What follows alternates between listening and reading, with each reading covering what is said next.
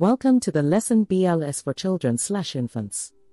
In this video, we will discuss basic life support for children and infants. BLS for children and infants also focuses on doing several tasks simultaneously. In many situations, more than one person is available to do CPR. This simultaneous and choreographed method includes performing chest compressions, managing the airway, delivering rescue breaths, and using the AED, all as a team. By coordinating efforts, a team of rescuers can save valuable seconds when time lost equals damage to the heart and brain. 1 Rescuer BLS slash CPR for children, age 1 to puberty. Be safe. Move the child out of traffic or any unsafe situation. Move the child out of water and dry the child. Drowning children should be removed from the water and dried off. They should also be removed from standing water, such as puddles, pools, gutters, etc. Be sure you do not become injured yourself. Assess the child.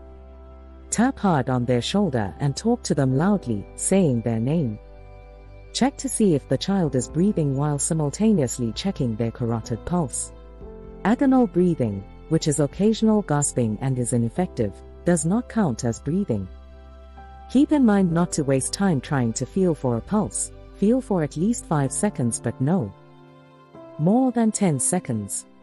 If you are not sure you feel a pulse, begin CPR with a cycle of 30 chest compressions and 2 breaths.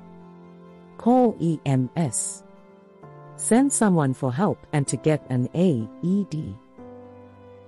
If alone, shout for help while assessing for breathing and pulse.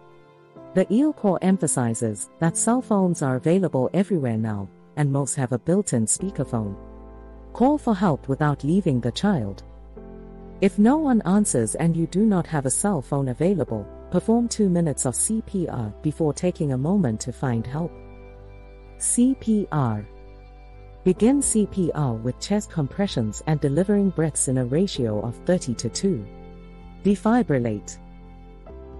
Attach the AED when it becomes available. Use pediatric pads for children under the age of 8 and less than 55 pounds, 25 kilograms.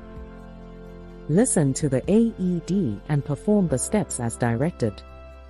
This concludes the BLS for children slash infants. Next, we will review the CPR steps for children.